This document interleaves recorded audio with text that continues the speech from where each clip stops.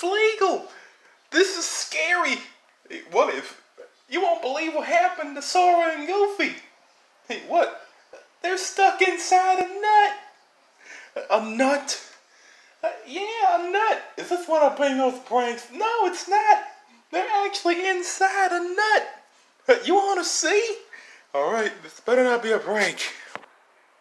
Oh, it's so dark in here. What's going on here? What the hell? Oh, Goofy, hold my hand. Thank you. How did they get in there? How did they? What? Uh, Fleegle, I'm scared. Hold me, Chipper. Hold